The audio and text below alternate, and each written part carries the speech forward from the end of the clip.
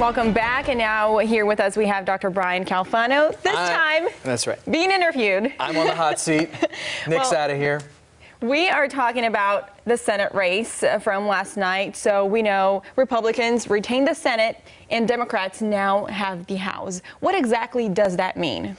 Well, it means that number one, President Trump has to make nice with the party that he was essentially excoriating over the last several months. That's the first thing from a national perspective.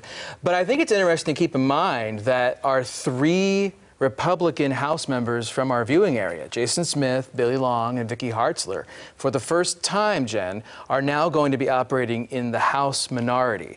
They've spent their entire careers in the House as the majority party. Now they're going to be on committees where the chairperson is going to be a Democrat, and they're going to potentially have to author what are called minority reports, which means they're going to disagree with the Democratic majority on those committees in the House. They're going to have a different perspective on what ought to get done, or in interpreting someone's testimony from a government department or a government agency. So they're going to have to find a way now to work without all of the levers of power that they're used to being able to wield because they had the House majority leadership behind them and they had the House Speaker's office behind them. That's not going to be the case anymore. So I think it'd be interesting to see as we move ahead if any of those three change how they deal with the type of bills that they put forward mm-hmm. and with how they relate to President Trump. Do they double down, especially with Representative Long, who has been very friendly with the president? Do they double down on that friendship or do they step back a little bit and say, I'm going to take more of a low profile here because I want to try to get some bills passed that will benefit my district, and I can't do that if it looks like I'm thumbing the nose of the Democratic leadership in the House. So that's where they are going to see a challenge in terms of passing bills and how they, they word these bills or which bills they're sponsoring or supporting. All of the above, right? It's a cooperative effort when you get into Congress and want to try to get something done. This is why a lot of times you'll get campaigns that say, so and so has been in office this long and they haven't done anything.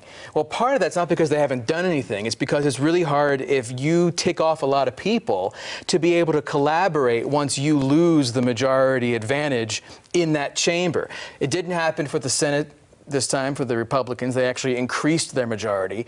But again, now for House members who have spent their entire career dealing with being in the majority and being able to basically run roughshod over the Democrats, the tables are now turned.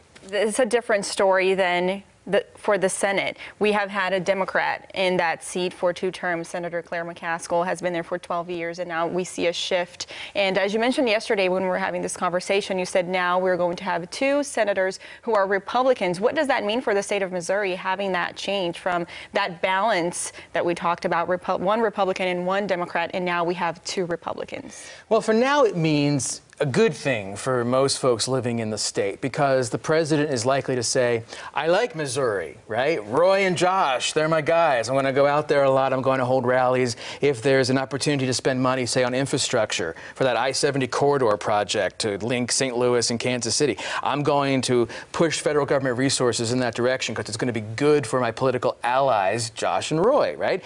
He may have been less likely, the president less likely to say that if he thought it was going to benefit Senator McCaskill, who would have stayed in office if she had won re-election.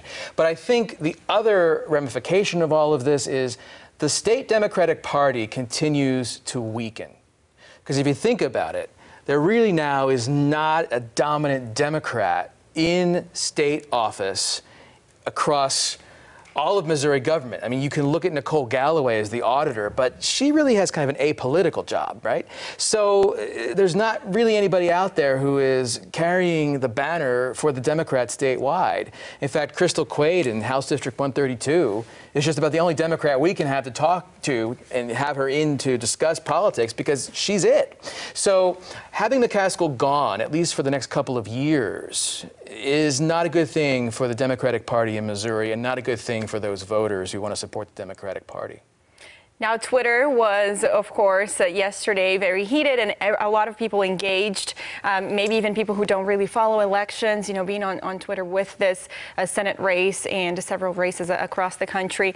Some people are already talking about 2020. They think, okay, we're done with 2018. Now it's just prep for 2020. Is that what we're going to be seeing for the next couple of years now? Is just a, a two year campaign leading up to 2020? I hope not. But seeing enough of this repeat itself, I think that's going to be largely what ends up happening because the Democrats are going to dig in and try to advantage whoever becomes their candidate to go against President Trump, give that person the best opportunity they have to unseat President Trump in 2020.